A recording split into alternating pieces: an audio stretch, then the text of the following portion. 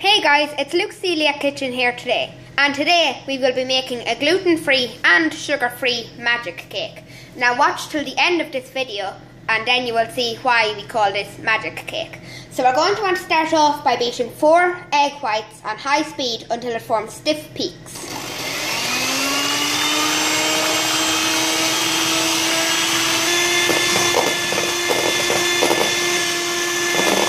So it's starting to thicken up now. Just keep mixing until it, until it forms stiff peaks. Your egg whites now have formed soft peaks, but we're going to keep mixing for another minute until you get stiff peaks. So now that your whites have formed stiff peaks, we will move on to the next bowl. So in this bowl, we're going to add four egg yolks, 125 grams of melted butter or margarine, and finally, 200 grams of our sugar-free sugar, which I got in Cunningham's Pharmacy on the Dublin Road in Athlone. And we're going to whisk this up on high speed until it's nice and thick.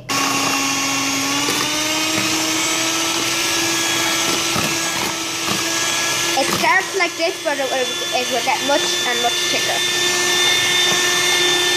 We're just going to keep mixing. So now you can see your egg yolk mixture is really, really thick. So now we are going to add 500 milliliters of milk gradually because we don't want uh, milk uh, flood all over your kitchen. So, and you're going to mix on low also. And you'll get a really thick, thin batter after you mix in all the milk.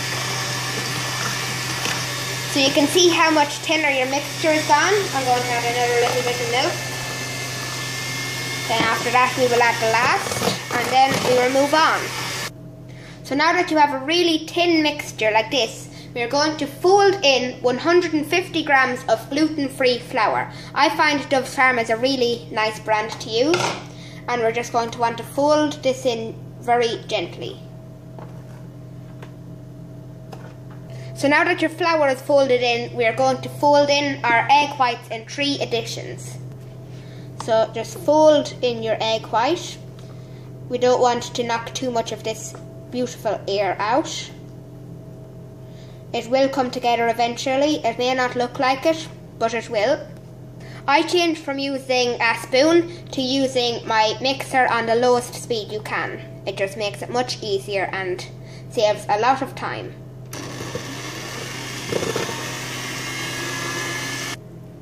So, now that you have your awesome magic cake batter, we're going to transfer it to a 9 inch tin and we're going to bake for 45 to 50 minutes. So, now that your cake is cooked and cooled, that means you are done. So that's it for this video guys. If you liked it, like, comment, subscribe and all that. And thank you all for watching and I will see you all in the next video. And if you haven't guessed already, this is the magic custard layer in your cake. So you have the top layer of custard and then you have some cake. So that's it for this video guys. Thank you all for watching and I will see you all in the next video.